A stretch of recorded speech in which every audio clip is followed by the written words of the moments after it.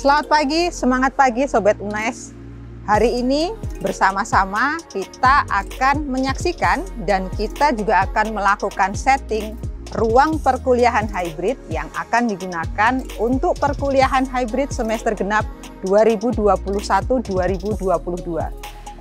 Ruang pertama adalah ruang yang telah tersedia fasilitas hybrid dan di ruang yang kedua kita akan melakukan setting untuk kelas hybrid, kuliah hybrid menggunakan peralatan pribadi yang dimiliki oleh dosen. Ikuti kami dan sampai ketemu nanti.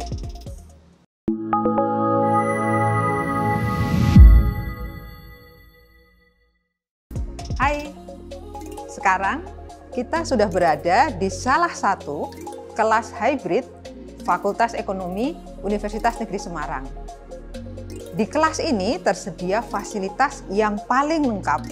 Mengapa sih dibilang paling lengkap? Karena di sebelah kanan saya kamera 4K, autofocus, dan auto tracking. Jadi di mana pun eh, dosen ataupun mahasiswa yang akan menulis akan diikuti oleh kamera. Kemudian mengapa juga disebut paling lengkap? Karena paling dari sebelah kiri saya bisa dilihat ada sebuah screen yang ukurannya juga bervariasi antar kelas. Untuk yang kita lihat saksikan saat ini berukuran 60 inch dan ada juga yang berukuran lebih kecil 32 inch. Di kelas ini pula sudah tersedia PC, di mana PC ini yang akan menghubungkan kita dengan mahasiswa yang berada secara daring. Kita akan mulai perkuliahan dengan membuka Zoom conference untuk bisa diikuti oleh mahasiswa di kelas daring maupun di kelas luring. Kita praktek ya. Sebelumnya, saya akan mendemokan atau menunjukkan bagaimana setting untuk Zoom yang sesuai dengan ruang perkuliahan. Yang pertama, masuk ke video setting atau setting Zoom dan uncheck untuk semua My Video. Adapun original ratio dan HD tetap dicek atau tetap diklik dan kita sudah selesai melakukan setting. Hanya itu. Nah, Bapak Ibu atau Sobat UNES juga perhatikan bahwa untuk bisa dapat terlihat dengan jelas, maka kita juga perlu memperhatikan lampu yang ada di ruang. Pada ruang ini tidak memungkinkan lampu di paling ujung untuk dinyalakan, sehingga eh, lampu di ujung dimatikan dan mahasiswa yang mengikuti perkuliahan secara daring dapat melihat papan tulis secara jelas. Seperti biasa, kita sudah melihat ada setting whiteboard, kemudian ada setting peserta, dan sesederhana ini untuk setting Zoom. Oke? Nah, untuk suara, kita juga perlu melakukan setting. Setting pertama adalah setting mikrofon, yang dalam hal ini kita ikut kamera, mic yang berasal dari kamera microphone DV22. Kemudian setting yang kedua adalah setting untuk speaker. Dalam hal ini kita mengikuti speaker yang berasal dari televisi yang berada di sebelah saya yaitu Sony TV.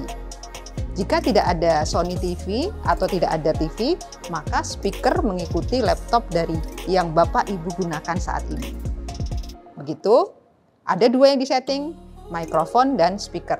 Jangan lupa keduanya selain setting untuk video sebagaimana yang tadi saya tunjukkan. Jadi eh, Zoom sudah terbuka. Saya kemudian akan mengaktifkan mode berbagi layar dan kita lihat kita sudah berbagi layar dengan para peserta yang berada di secara daring.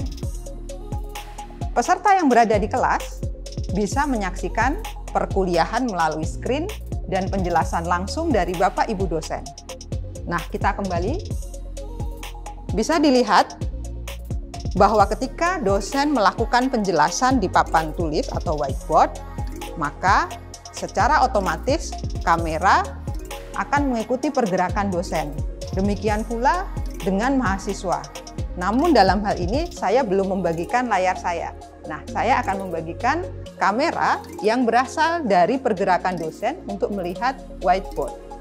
Kita tunggu. sudah tersaji.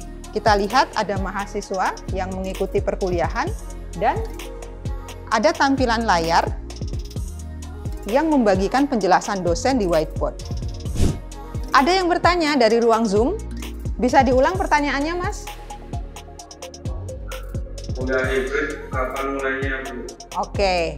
Nah, bagi kalian yang akan kuliah hibrid, kuliah akan dimulai 14 Februari 2022 bagi kalian yang eligible, lihat peraturan rektor ya bahwa kuliah harus disertai dengan beberapa persyaratan. Kami tunggu, kita tunggu 14 Februari 2022. Sangat mudah, tetapi perlu diingat bahwa fasilitas ini adalah fasilitas terbaik. Sehingga tidak semua kelas atau di semua ruang saat ini tersedia fasilitas seperti ini. Jumlahnya masih sangat terbatas. Setelah ini, kita akan bersama-sama melakukan setting kelas dengan peralatan atau device yang dimiliki oleh dosen secara pribadi. Terus ikuti kami dan kita ketemu di ruang sebelah. Hai, kita bertemu di ruang yang kedua, yaitu ruang kelas untuk persiapan kuliah hybrid dengan fasilitas yang dimiliki oleh pribadi. Jadi standarnya dalam sebuah ruang kelas di Universitas Negeri Semarang sudah tersedia proyektor, screen, dan sebuah meja. Dalam hal ini, dosen mempersiapkan laptop, sebuah webcam, dan tentu saja tripod. Kita akan mulai dengan dosen membuka fasilitas conference berupa Zoom atau Google Meet lainnya. Nah, seperti halnya yang eh, ruang sebelah yang di mana difasilitasi lengkap, tidak ada perbedaan. Perbedaannya hanya semua yang ada di meja ini adalah milik dosen secara pribadi. Bapak Ibu dosen mengoperasikan menggunakan Zoom, Mahasiswa yang melakukan perkuliahan daring mengikuti menggunakan Zoom dan yang di kelas bisa menjelaskan langsung dari penjelasan dosen. Beberapa hal penting yang perlu diperhatikan oleh Bapak Ibu dosen adalah tulisan pada papan tulis hendaknya dalam ukuran yang lebih besar supaya dapat terbaca dengan jelas oleh mahasiswa di kelas daring. Selain itu, kami juga mengingatkan bahwasanya jaringan memiliki potensi untuk tinggi ketika kuliah berlangsung bersamaan. Untuk itu, kami sangat menghimbau Bapak dan Ibu dosen mempersiapkan tethering selain menggunakan WiFi yang tersedia, UNES ID atau WiFi berupa kabel nantinya yang juga disediakan di kelas. Begitu, kita akan bertemu lagi, kita akan melakukan sesi kuliah hybrid 14 Februari 2022. Selamat kuliah, tetap produktif. Indonesia maju, UNES cemerlang.